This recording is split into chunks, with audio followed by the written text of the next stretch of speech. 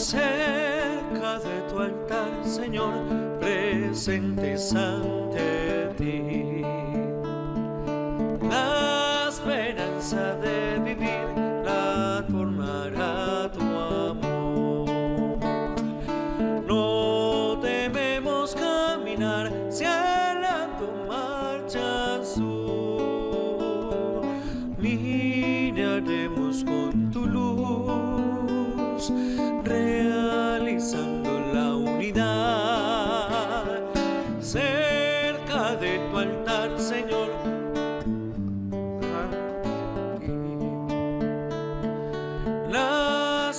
Esperanza de vivir la formará tu amor. Nos fraterniza tu amor por senda secular. Todo lo que tú nos das se convierte en nuestro don.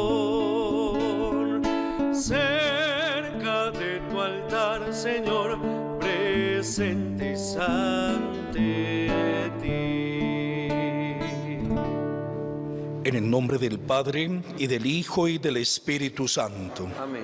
El Señor que dirige nuestros corazones para que amemos a Dios y a los hermanos, esté con todos Con ustedes. tu espíritu.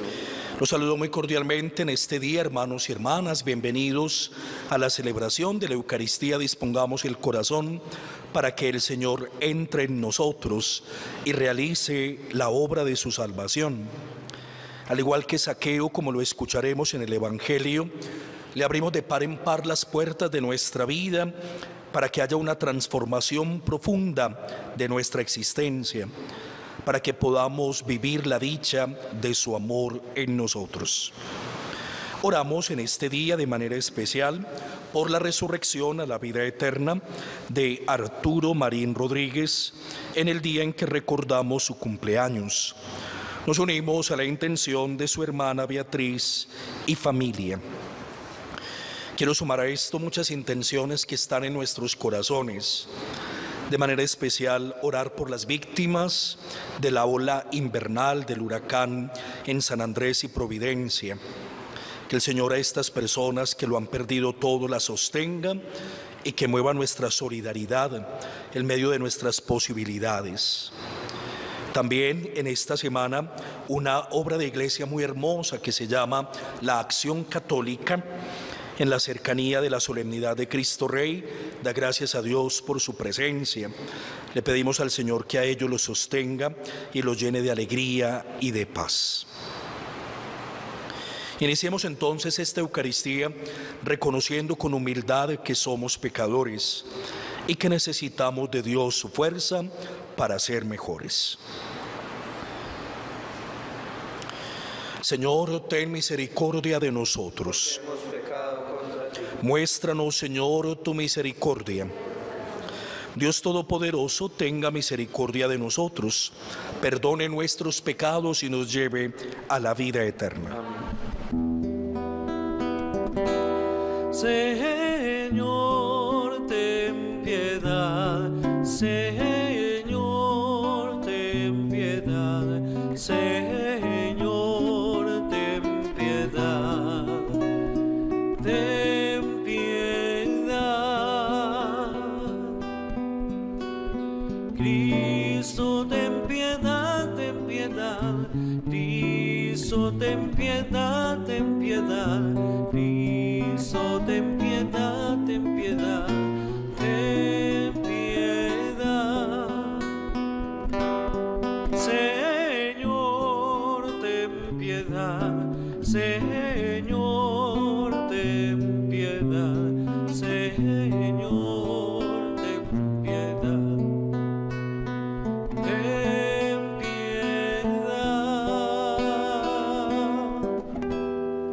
Celebramos en la iglesia la memoria de Santa Isabel de Hungría, una reina del siglo XIII que después de enviudar dedicó toda su vida al servicio de los pobres, a construir hospitales para los más necesitados y ella misma a atenderlos.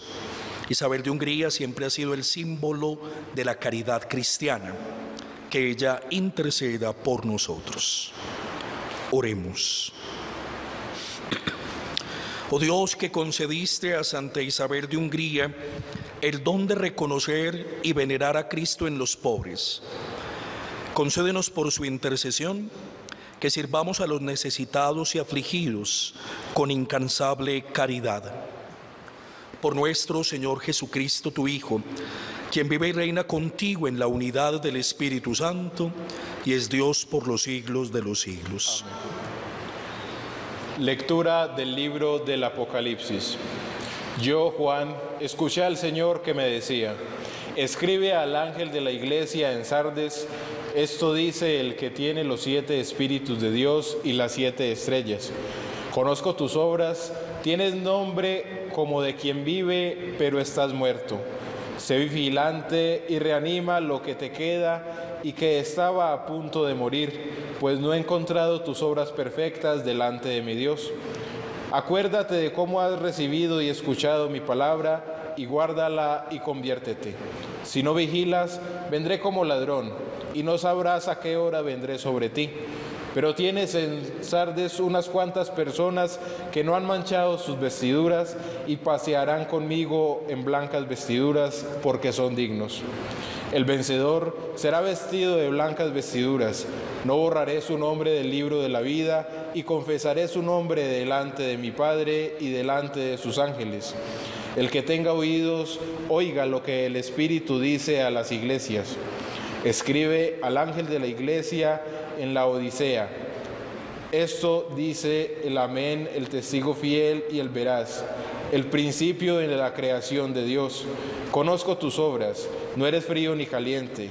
Ojalá fueras frío o caliente, pero porque eres tibio, ni frío ni caliente, estoy a punto de vomitarte de mi boca. Porque dices, yo soy rico, me he enriquecido y no tengo necesidad de nada, y no sabes que tú eres desgraciado, digno de lástima, pobre, ciego y desnudo. Te aconsejo que me compres oro acrisolado al fuego para que te enriquezcas, vestiduras blancas para que te vistas y no aparezca la vergüenza de tu desnudez, y colirio para untarte en los ojos a fin de que veas. Yo a cuantos amo reprendo y corrijo. Ten pues celo y conviértete. Mira, estoy de pie ante la puerta y llamo. Si alguien escucha mi voz y abre la puerta, estaré en su casa y cenaré con él y él conmigo. Al vencedor le concederé sentarse conmigo en mi trono, como yo he vencido y me he sentado con mi Padre en su trono. El que tenga oídos, oiga lo que el Espíritu dice a las iglesias. Palabra de Dios. Al vencedor le concederé sentarse conmigo en mi trono. El que procede honradamente y practica la justicia, el que tiene intenciones leales y no calumnia con su lengua. El que no hace mal a su prójimo ni difama al vecino, el que considera despreciablemente al impío y honra a los que temen al Señor. El que no presta dinero a usura ni acepta soborno contra el inocente, el que así obra nunca fallará.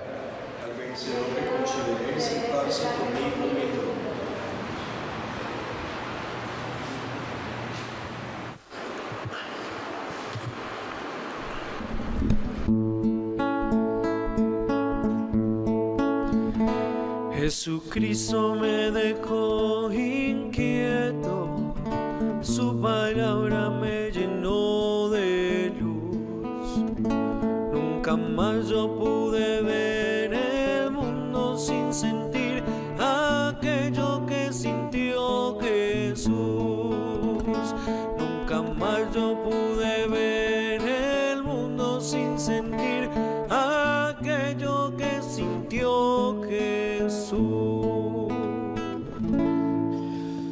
Hermanos y hermanas, el Señor esté con ustedes. Les proclamo el Evangelio de Jesucristo según San Lucas. En aquel tiempo Jesús entró en Jericó e iba atravesando la ciudad.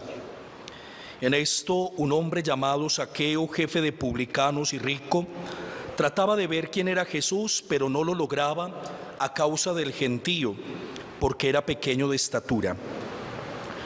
Corriendo más adelante, se subió, a un sicomoro para verlo, porque tenía que pasar por allí.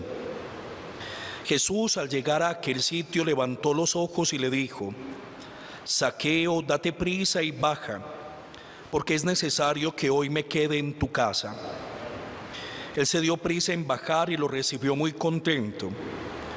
Al ver esto todos murmuraban diciendo, ha entrado a hospedarse en casa de un pecador. Pero Saqueo de pie dijo al Señor, mira Señor, la mitad de mis bienes se la doy a los pobres, y si he defraudado a alguno, le restituyo cuatro veces más. Jesús le dijo, hoy ha sido la salvación de esta casa, pues también este es hijo de Abraham, porque el Hijo del Hombre ha venido a buscar y salvar lo que estaba perdido. Palabra del Señor. Uno de los encuentros más significativos y hermosos que nos trae el Evangelio de Lucas es este de Jesús con saqueo en la ciudad de Jericó.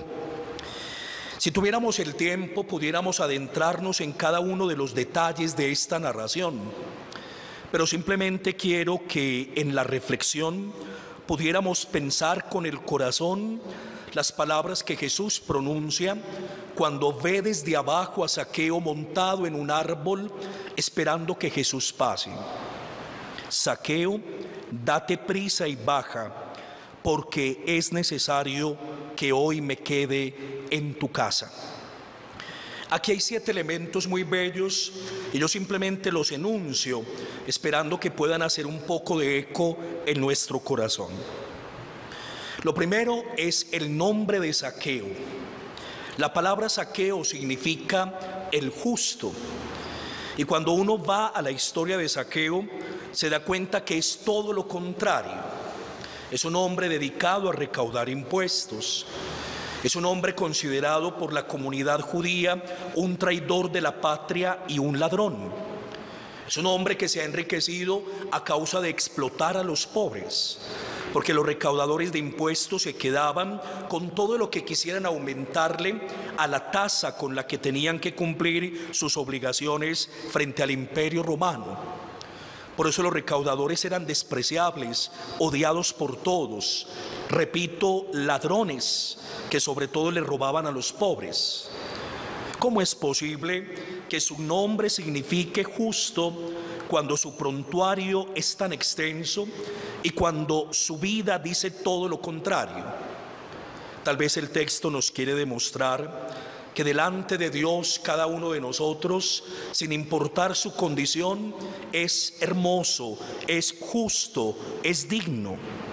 Saqueo a pesar de que le ha dado la espalda a la ley de Moisés, a pesar de que ha puesto el dinero en el centro de su corazón, sigue siendo bello y justo para Dios. Dios se ha fijado en él a través de la mirada de Jesús y Jesús lo va a recuperar, lo va a salvar, le va a dar otra oportunidad. Por eso la primera lección sería, nuestra vida y nuestra historia ha sido mirada con amor por el Señor. Y no importa lo que hayamos hecho, no importa nuestro pasado oscuro, desde Dios siempre, siempre hay una oportunidad si queremos. Si al igual que Saqueo bajamos con prontitud y abrimos de par en par las puertas de la vida, lo que también decía el libro del Apocalipsis. Luego le dice Jesús, date prisa, enseguida, no hay tiempo que perder. La respuesta que le damos al Señor no se aplaza, no se ponen condiciones, no se, no se sacan excusas, no se ponen pretextos. Nosotros a veces vamos dilatando la respuesta y Saqueo entiende que es hoy, que es en este momento, que no hay tiempo que perder. Date prisa. Dios tiene afán por salvarnos. Y nosotros también deberíamos tener un afán manifiesto por dejarnos alcanzar y salvar y amar. Luego Jesús le dice, baja. Saqueo se ha montado en un sicómoro para poder ver a Jesús por curiosidad. Él quiere saber quién es este que tiene tanta popularidad y que atraviesa caminando la ciudad. Tal vez no lo ha movido otra cosa que la simple curiosidad. Sin embargo, se ha montado en un árbol porque es pequeño y tal vez nosotros muchas veces nos hemos montado en el árbol de la autosuficiencia, en el árbol de nuestro propio ego, en el árbol de la superficialidad. Y si no bajamos, no podemos encontrarnos con Jesús. Hay que bajarse de todo aquello en lo que nos hemos montado, levantado, pretendiendo encontrar allí la felicidad y tal vez nunca la hallamos. Y Jesús insiste, es necesario, porque Dios tiene un proyecto, porque Dios tiene un plan, porque nosotros no pasamos desapercibidos frente al corazón de Dios, porque en el corazón de Dios todos tenemos un puesto único y original y es preciso dejar que Dios actúe. La vida no se va desarrollando simplemente por casualidades, por azar. En la vida hay un proyecto que Dios tiene y es un proyecto que depende de nuestra libertad. Por eso Jesús le dice a Saqueo, es necesario, es preciso, Dios tiene un plan para ti, un plan de transformación profunda, una vida nueva. Hoy, ese hoy es muy lindo en el Evangelio de Lucas porque es que la salvación de Dios no es para mañana. Ni siquiera le dice Jesús a Saqueo, a ver, demuéstrame su cambio, demuéstrame su conversión. Le voy a poner una penitencia y cuando la cumpla vuelva para salvarlo. No, es consecuencia el cambio, pero lo que necesita Jesús es que Saqueo se deje encontrar en el hoy de su vida porque Dios no salvará mañana, porque Dios no actúa simplemente en una próxima oportunidad, porque este es el presente de Dios, este es el hoy de la salvación. Por eso después en la casa Jesús dirá exactamente lo mismo. Hoy ha sido la salvación de esta casa, de este hombre, de su familia, de todo lo que lo rodea, pero es hoy. Por eso si Dios actúa hoy, nuestra respuesta tiene que ser hoy. Y luego le dice, hoy quiero quedarme, hospedarme, alojarme y por último en tu casa. Es muy lindo porque hay una bella coincidencia entre las palabras del Señor en el Apocalipsis. Miren que estoy a la puerta y llamo. Si alguno abre, entraré y me quedaré con él. Jesús no fuerza a Saqueo a que le abra su casa. Jesús no entra en la casa de Saqueo con violencia. Jesús no usurpa el corazón de saqueo. Todo funciona desde la propuesta, desde la provocación, desde la seducción. Jesús va tocando la puerta del corazón de este publicano rico con toda la delicadeza posible, pero también con toda la intensidad propia de la acción salvífica de Dios. Dios llegará con fuerza, pero solamente en la medida en que Saqueo abra la puerta. Y cuando el Señor llega, llega para quedarse. Él no llega simplemente para hacer algo y marcharse.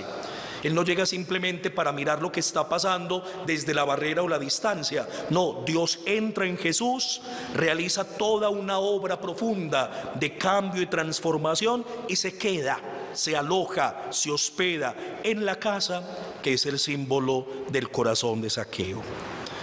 Qué lindo que cada uno pusiera su nombre en este texto que sea tu nombre y el mío el que el Señor pronuncie, porque hoy también quiere actuar en tu vida y en la mía y quiere lograr el mismo efecto profundo de transformación que causa alegría y alegría que dura para siempre. No endurezcas tu corazón, ojalá escuches hoy la voz del Señor, así sea. Así sea.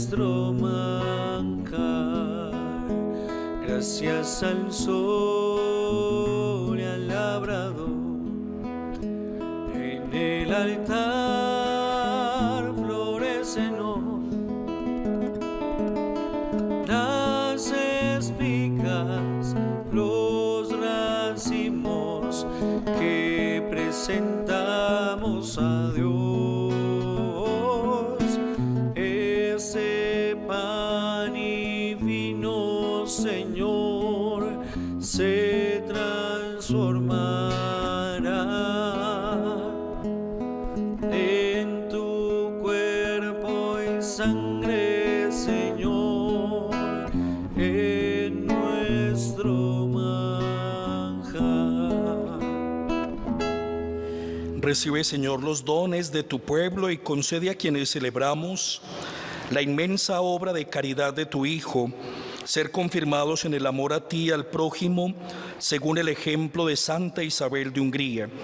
Por Jesucristo nuestro Señor. Amén.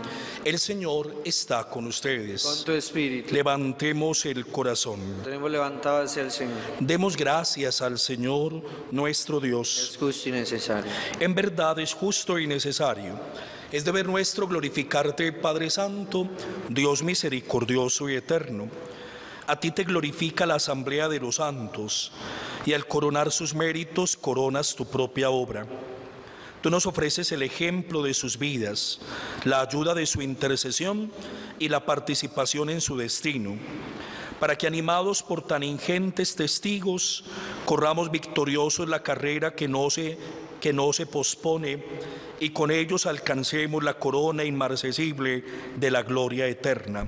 Por Jesucristo, Señor nuestro, a quien alaban los ángeles y los santos, cantando sin cesar.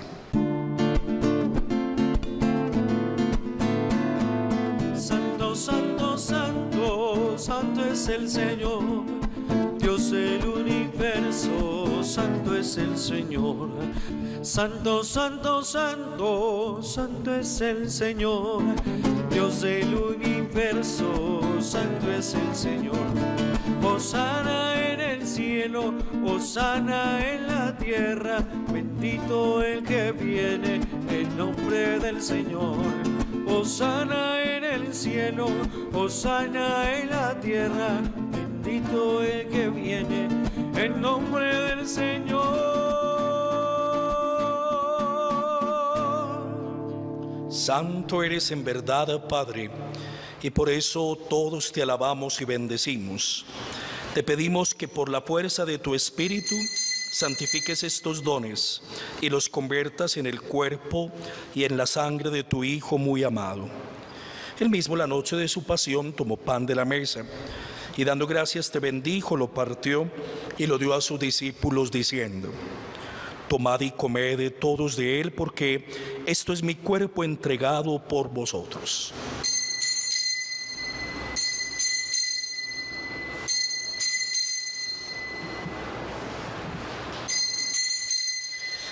Del mismo modo, terminada la cena, tomó este cáliz y dándote gracias de nuevo lo pasó a sus discípulos diciendo, Tomad y bebed todos de él, porque este es el cáliz de mi sangre sangre de la alianza nueva y eterna, que será derramada por vosotros y por muchos para el perdón de los pecados. Haced esto en memoria mía.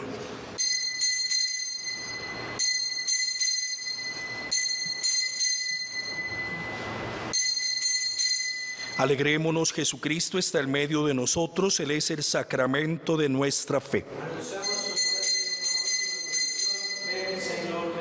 Padre, al celebrar el memorial de la entrega salvadora de tu Hijo, de su muerte y resurrección, proclamamos la obra de tu amor y te pedimos que la fuerza del Espíritu Santo nos congregue en la unidad de una sola familia. Acuérdate, Padre de la Iglesia, del Papa Francisco, de nuestro Obispo Ricardo y de todos los pastores que cuidamos a tu pueblo, llévanos a la perfección por la caridad. Acuérdate también, Señor, de quienes han muerto, especialmente Arturo. Míranos con ojos de misericordia y un día con la Virgen María, San José, Santa Isabel de Hungría y todos los santos, permítenos reunirnos en tu reino, compartir la vida eterna y cantar tus alabanzas. Por Cristo, con Él y en Él. A ti Dios Padre Omnipotente, en la unidad del Espíritu Santo, todo honor y toda gloria por los siglos de los siglos. El amor de Dios ha sido derramado en nuestros corazones con el Espíritu Santo que hemos recibido. Digamos con fe y esperanza. Padre nuestro que estás en el cielo, santificado sea tu nombre. Venga a nosotros tu reino. Hágase tu voluntad en la tierra como en el cielo. Danos hoy nuestro pan de cada día, perdona nuestras ofensas, como también nosotros perdonamos a los que nos ofenden. No nos dejes caer en la tentación y concédenos la paz para que, ayudados por tu amor, vivamos libres de pecado y protegidos de toda perturbación, mientras esperamos la gloriosa venida de nuestro Salvador Jesucristo. Señor Jesucristo, que dijiste a tus apóstoles, la paz les dejo, mi paz les doy, no tengas en cuenta nuestro pecado, sino la fe de tu iglesia. Conforme a tu palabra, concédenos la paz y la unidad, tú que vives y reinas por los siglos de los siglos. La paz del Señor esté siempre con ustedes. Con tu espíritu.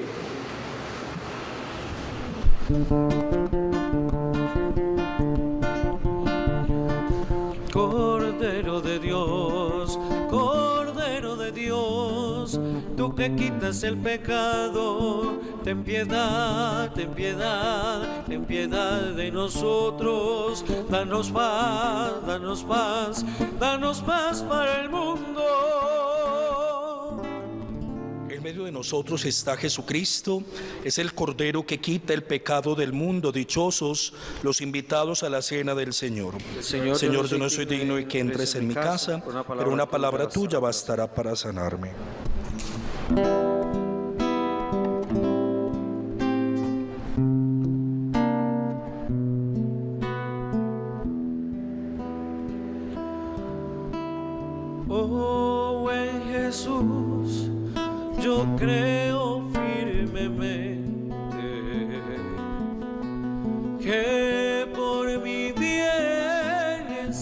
En el altar,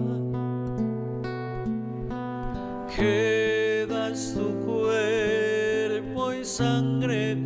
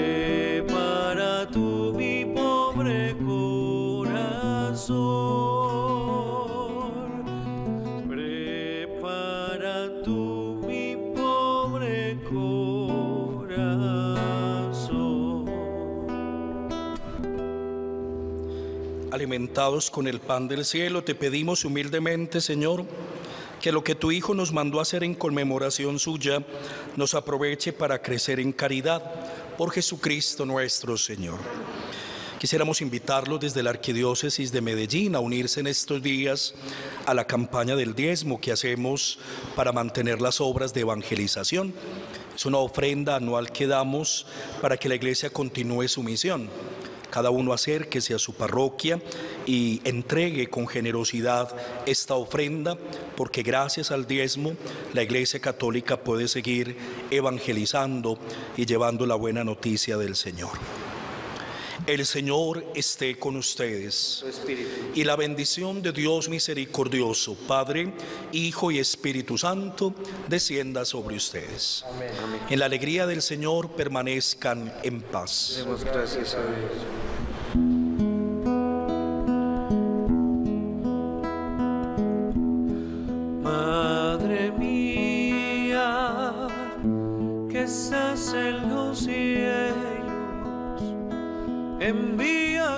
away.